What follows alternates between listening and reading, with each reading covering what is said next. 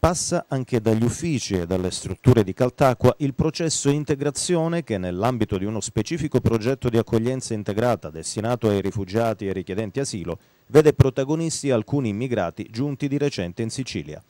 Sono due infatti i giovani, entrambi pakistani, che da qualche giorno stanno svolgendo presso gli uffici centrali di Caltacqua a Caltanissetta il project work gestito per conto dell'amministrazione comunale del capoluogo dall'associazione Girasoli.